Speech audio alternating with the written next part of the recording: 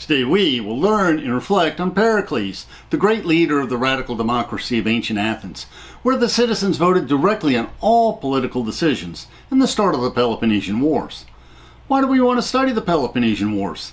Simple. You cannot understand Greek philosophy and history without studying these wars.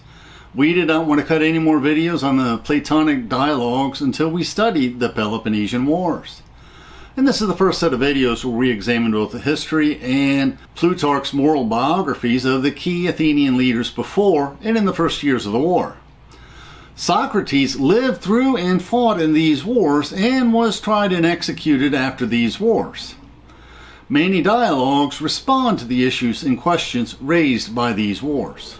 And these four succeeding videos also examine both the history and Plutarch's moral biographies of the key Athenian and Spartan leaders during and at the end of this first great war of history. The brilliant and outrageous war leader of both Athens and Sparta, Alcibiades, is a leading character in the famous Platonic dialogue, the Symposium, where Alcibiades characteristically crashes a dinner party attended by Socrates. Alcibiades was both a friend and a student of Socrates, and indeed, in the Battle of Potidaea, early in the Peloponnesian Wars, Socrates saved Alcibiades on the battlefield.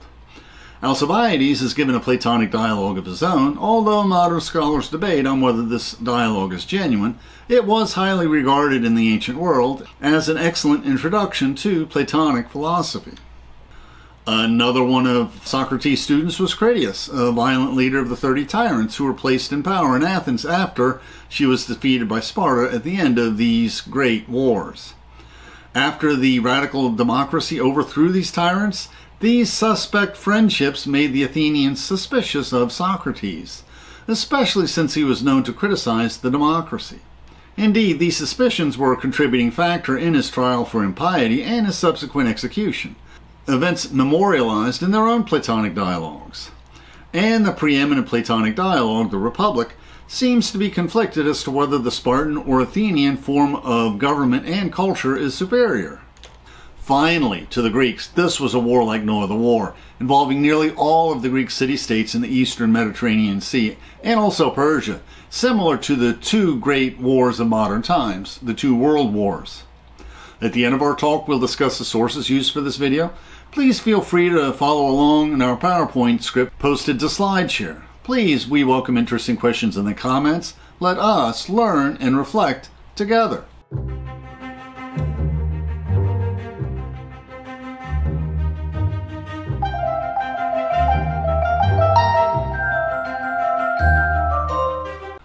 Herodotus wrote the history of the Greco-Persian War while Thucydides started chronicling the Peloponnesian Wars. In his introduction, Thucydides writes, Thucydides, an Athenian, wrote the history of the war between the Peloponnesians, also known as the Spartans, and the Athenians, beginning at the moment that it broke out, and believing that it would be a great war and more worthy of revelation than any that had preceded it. Now, Herodotus had more piety by ancient standards. He included many references to the gods and how they influenced history in the distant past. Thucydides rarely mentions the gods, although he does discuss omens and oracles. He seeks political explanations and natural causes for his histories. Many scholars regard him as the first modern historian. Thucydides was born several decades after Herodotus. They were contemporaries, although it's unlikely they ever met. Although Thucydides lived through the entire Peloponnesian War, he died before completing his history, stopping in mid-chapter and mid-sentence. His history was resumed from that point by the Greek writer and historian Xenophon. Both were generals, but Athens exiled Thucydides after he was unsuccessful in preventing Amphipolis with its silver mines from being captured. J.B. Bury, in his book on Greek historians, observes In his introduction, Thucydides sets a new standard of truth or accurate reproduction of facts and a new ideal of historical research, judged by which he finds Herodotus wanting and he condemns Herodotus expressly for aiming and providing a good reading rather than facts, and for narrating the stories the truth of which cannot possibly be tested. He does not seek himself to furnish entertainment or to win popular success, but to construct a record which shall be permanently valuable because it is true. Thucydides warns his readers that they will find nothing mythical in his works. And J.B. Bury continues While Herodotus was influenced by the epic, the artistic method of Thucydides must rather be compared with that of the drama. Thucydides adheres as closely to his argument as a tragic poet, and he replaces the omniscient chorus with speeches by major characters, which are based on the memories of what was actually said, supplemented by what should have been said. Professor Bury continues Thucydides' first consideration was accuracy, he had to follow events and not mold them into correspondence with an artistic plan. And his strict chronological order excluded devices of arrangement, but occasionally we can detect deliberate management. Another major source is Plutarch and his Life of Pericles, the great Athenian general and leader, included in his work Pairing Noble Greek and Roman Lives, written about 450 years after these wars. Plutarch says he paired the lives of Pericles and Fabius Maximus, and that's the Roman general who fought so relentlessly against Hannibal, because the most important traits they shared were self possession and integrity, and their ability to endure the foolishness of the populace and their colleagues. And this made them particularly valuable to their countries. Plutarch gives us a reason why we should study the actions of virtuous men. Actions arising out of virtue puts us in a frame of mind where we simultaneously admire the acts and desire to emulate the agents. Great men of history. We appreciate the good things that come to us by chance, but we appreciate more doing the good deeds which come to us from virtue. Moreover, while we want to receive the former from others, we want others to receive the latter from us. Noble histories instill in us an immediate urge to action. It does not build moral character in the spectator merely by means of a story, but by giving him purpose through an account of the deed. In other words, the study of history should improve our moral character. Plutarch's major source is Thucydides. Most of his other sources are now lost in the sands of history, likely in part due to the excellence of his writings.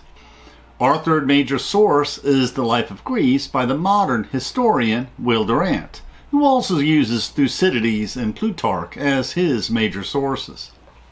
The story of the Greco Persian Wars is a simple story. Victory in three key battles won the wars for the Greeks. But like our modern world wars, the Peloponnesian War is a very difficult story to tell, spanning many years, many battles, many participants, many temporary truces, many theaters of war. The reach of the Peloponnesian Wars was broad. It spanned the eastern Mediterranean Sea. The conflicts that sparked the war between Athens and the Spartan ally Corinth were over two Corinthian colonies Epidamnus on the west coast of Greece and Potidaea on the east coast. There were also struggles over Amphipolis, an Athenian possession near Thrace in the north, where the silver mines that helped Athens finance the war were located. The Athenians liberated the Greek city states on the coast of Asia Minor and wrested control of Byzantium, modern day Istanbul, which controlled access to the grain that helped feed the Athenians. Plus, there was a major battle in Sicily off the boot of Italy and military actions in Cyprus. These wars involved most of the city states of the Greek world, in addition to Persia. Thucydides says that the Peloponnesian Wars began about 50 years after the Greco Persian Wars, ending when King Xerxes and his army fled mainland Greece for the safety of Persia.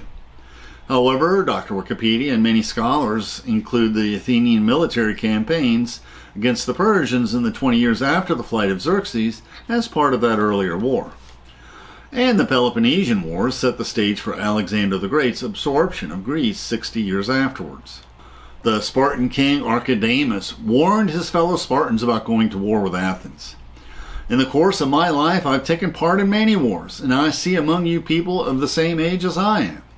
They and I have had experience, and so are not as likely to share in what may be a great general enthusiasm for war, nor to think that war is a good thing or a safe thing. If you look carefully, this war will not be likely anything on a small scale. War with Athens will be different. Athens is a sea power, Sparta is a land power. King Archidamus continues. We must not bolster ourselves up with the false hope that if we devastate their land, the war will soon be over. I fear that it is more likely that we shall be leaving this war to our children after us. And like the modern great world wars 1 and 2, the Peloponnesian Wars did indeed span generations. Ironically, although the Spartan king Archidamus was opposed to the war, when war was declared, he brought the war to Athens. In this first phase of the Peloponnesian Wars is named by historians as the Archidamian War. So what was the prelude to the Peloponnesian Wars? Historians might mislead you into thinking that wars have a definite beginning and a definite end. Often the real history is muddier. There are constant conflicts and battles, and many wars in the decades between these two great wars. Summarizing the Greek victory in the Greco Persian Wars, Athens was the savior of Greece in these wars. First, the Persian king Darius raided Greece with a small army and navy, thinking he could easily defeat the Greeks. However, the Athenian hoplites surprised and charged the Persian forces in the Battle of Marathon, totally decimating the Persian infantry and even capturing seven Persian ships. The remaining ships fled with King Darius back to Persia. Many years later, his son, King Xerxes, returned with a much larger force, marching and sailing down the Greek coast. A small band of Spartans held back the entire Persian army for many days at the Battle of the Pass of Thermopylae, fighting to their deaths. Athens once again came to the rescue of Greece when she defeated the Persian navy in the Battle of the Straits of Salamis, forcing the Persian navy to return to Persia. The core of the Persian army that was left behind was defeated by a combined Greek army in the following year in the Battle of Plataea. Thucydides records these events by bridging the end of the Greco Persian Wars and the Peloponnesian Wars in a chapter called the Pentecontaetia, or the 50 year period starting from the year the Persians leave mainland Greece. Soon after the Persians were forced out of mainland Greece, the Athenian general Cimon, and in Greek C is pronounced as K, scored a major victory against the Persians. The Persians, fearful of the naval prowess of the Athenians, beached their triremes and constructed what they thought was a secure camp. The Greeks under Cimon destroyed both the Persian fleet and the camp, slaughtering the rowers and soldiers.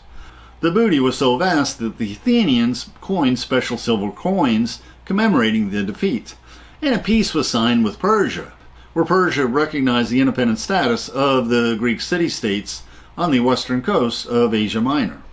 At the end of the Persian Wars, Athens decided to build a city wall not only around the city of Athens, but also the four mile long walls from Athens to their two port cities at the Piraeus and Phalerum. Sparta was concerned that Athens was building these fortifications, so they sent a delegation to Athens to inquire. In response, the Greek leader Themistocles traveled to Sparta, supposedly waiting for his delayed fellow delegates until he received words that the walls were tall enough to be defensible. He then announced to the Spartans that the Athenians would continue to build their walls, and that any city was right to defend its own self interest. And Professor Harl of the Teaching Company argues that this incident began the discontent that Sparta felt towards Athens that eventually led to the war. Now we'll discuss the formation of the Delian League. During the Greco Persian Wars, the Spartans were the leaders of the Greek world. But when the arrogant Spartan king and commander Pausanias tried to bully many of the Greek city states, particularly those on the coast of Asia Minor, they grew irritated with Pausanias and pleaded with Aristides the Just of Athens to instead form the Delian League. At first, the larger allies were asked to provide ships, but many allied states, particularly the smaller states, preferred a cash tribute. For many years, the tribute money was deposited into the League treasury on the island of Delos. But as the League gradually morphed into an Athenian empire, Pericles transferred these monies into the treasury of Athens to help pay for the building program at Athens, earning the resentment of many of her allies. And part of the justification was that the Persians had burned the major buildings of Athens when she occupied it in the Greco Persian Wars.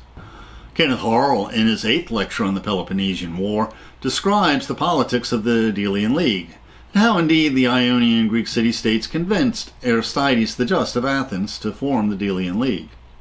The Greek city states consented to a level of tribute that was a little bit more than what the tribute they had paid to the Persians. The Delian League had an assembly that met on the island of Delos. Each state had a vote, but Athens was able to dominate this assembly from the first, because many of the smaller states were afraid to cross Athens from the very beginning. Athens, at the end of the Greco Persian Wars, was somewhat in the same position that the United States was in after World War II, when all the other powers had been devastated, but America was transcendent because she ruled the seas. Will, Durant says that in his history, Athens dominated this period because she had won the allegiance and contributions of most Aegean cities by her leadership in saving Greece, and because when the war was over, Ionia was impoverished and Sparta was disordered by demobilization, earthquake, and insurrection. Will Durant tells us Themistocles set the course of Greek history by persuading Athens that the road to supremacy lay not on land but on sea, and not by war so much as by trade. He negotiated with Persia and sought to end the strife between the old and young empires so unimpeded commerce with Asia might bring prosperity to Athens. He knew that these policies would arouse the jealousy of Sparta and might lead to war between the rival states.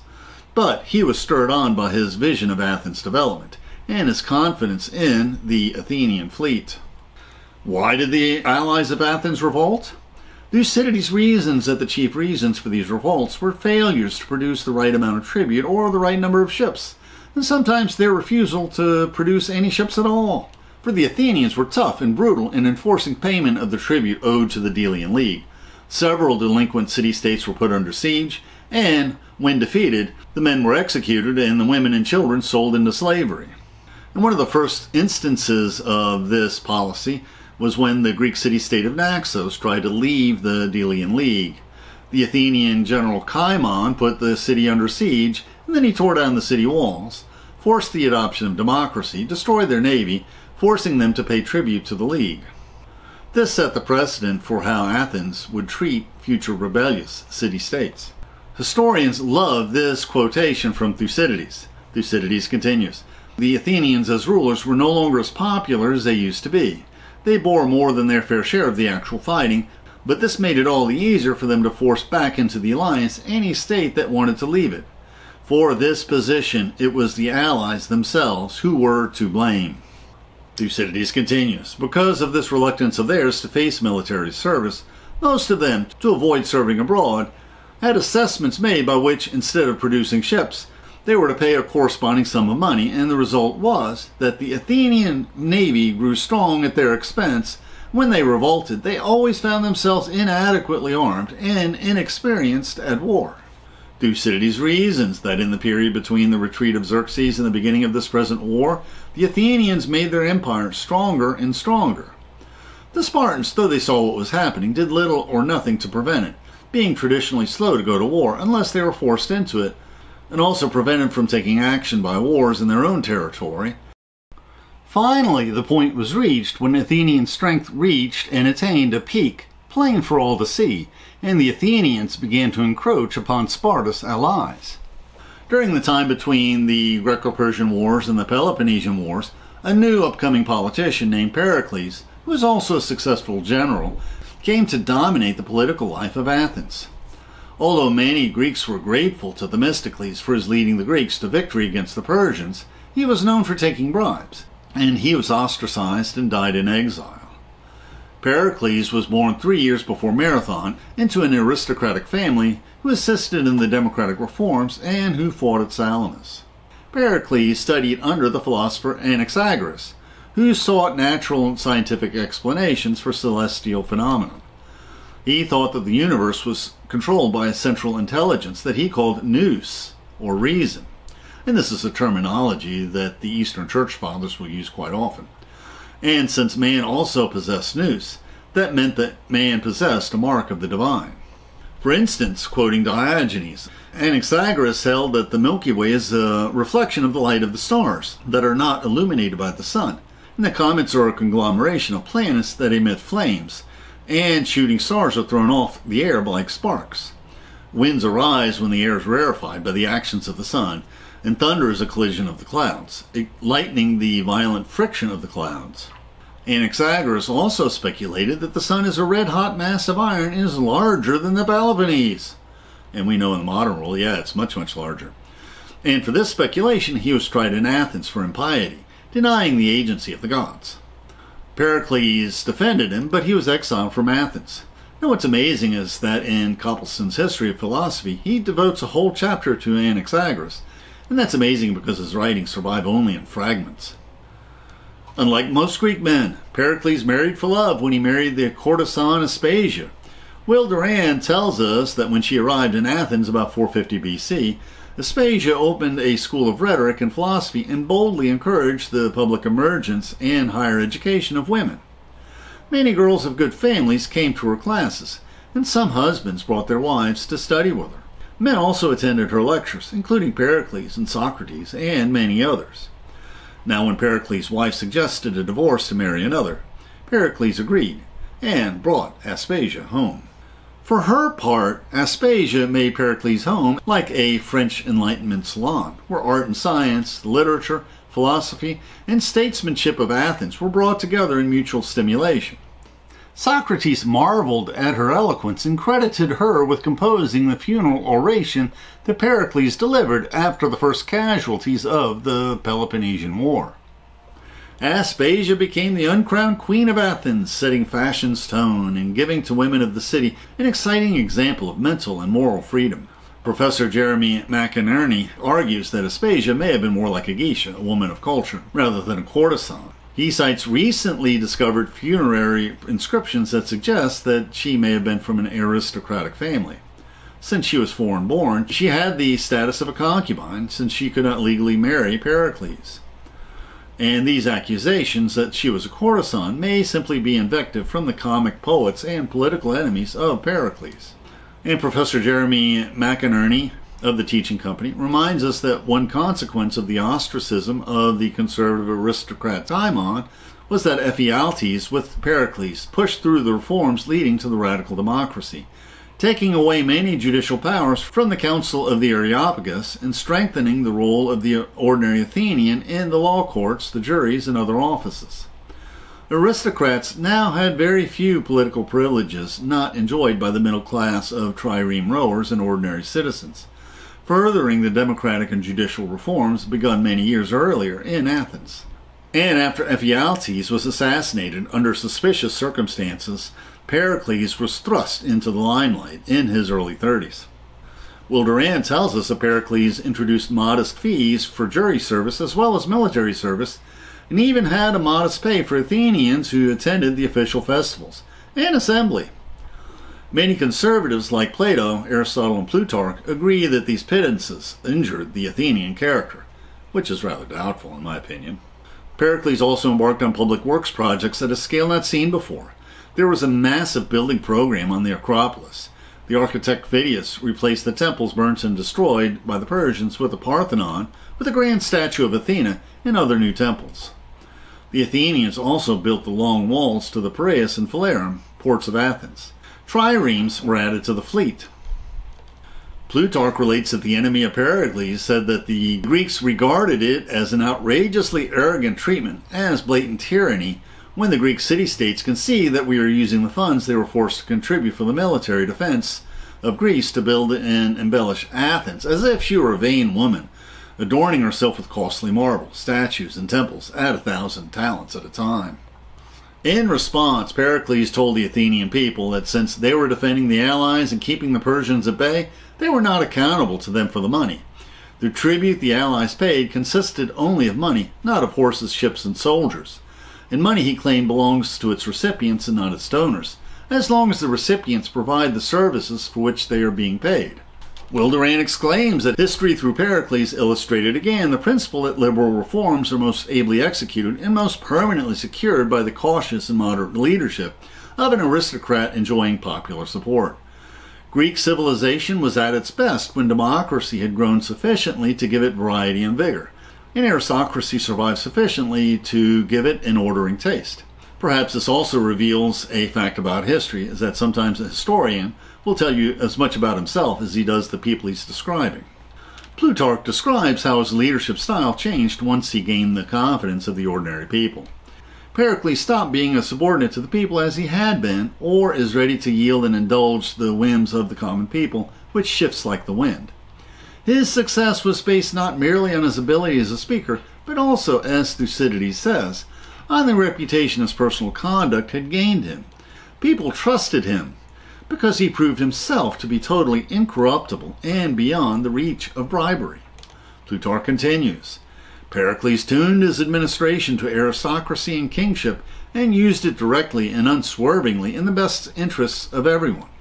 For the most part, Pericles led the people willingly by persuading them and instructing them, but sometimes when they're especially recalcitrant, he reined them in and won them round, until they saw where their advantage lay and then submitted to it.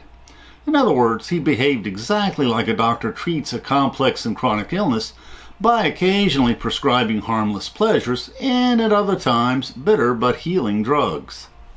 Plutarch tells us that as a leader, Pericles enthusiastically espoused the popular cause and chose the side of the mass of the poor people rather than that of the rich, despite the fact that this was contrary to his own nature, which was very far from being sympathetic to the common people. And to an extent, Plutarch's telling us about himself here. Pericles chose to be aloof from his fellow aristocrats. Plutarch tells us that when he entered the active political life, Pericles adopted a changed way of life. The only street in the city where he could be seen walking was the one leading to the city square and the council chamber. He stopped accepting invitations to dinner and gave up on the kind of social activity so completely that he never, throughout all the many years of his involvement in politics, went to have dinner at a friend's house, as conviviality tends to undermine authority. Plus, he probably also enjoyed staying at home with Aspasia. Plutarch notes Pericles approached his speaking with caution. Every time he walked up to the speaker's rostrum, he used to offer up a prayer to the gods that not a single inappropriate word would accidentally spill out of his mouth. Once, in a funeral speech, Pericles said that although we cannot see the actual gods, we can deduce their immortality from the worship they receive and the benefits they confer. He also said that those who have died in defense of their country also have the same attributes. Plutarch's notes Pericles was remarkable then, not only for his courtesy and self possession, which he maintained through all the troubles and hostilities that beset him, but also for his pride, and that he considered a particularly noble aspect of his character that he never used his enormous power to indulge either envy or passion, and had never treated any enemy as irreconcilable. Plutarch tells us of a humorous story showing how Pericles was patient and unflappable. On one occasion, Pericles had insults and abuses hurled at him by some crude and outrageous fellow in the city square. He endured this abuse all day long and then went home in the evening perfectly composed with a man following him and calling him all kinds of names. By the time he got home, it was dark, and just before going inside, he told one of his slaves to take a torch and escort the man back to his house. Now we'll discuss the sources we used for this video. Since all of our videos on the Peloponnesian War access many of the same multiple sources, we cut another video reviewing these sources, and I must say, all of these sources, Thucydides and Plutarch and Will Durant, they're all a joy to read. We will follow this initial video on Pericles and the Peloponnesian Wars, first with a video on Pericles and his qualities as a general, and the first years of the war until Pericles died of the plague, then with a video reflecting on the famed funeral oration of Pericles, comparing it to the Gettysburg Address of Lincoln and Winston Churchill's speech on the Battle of Britain. The YouTube description includes a link to our PowerPoint script that we uploaded to SlideShare and also our blog.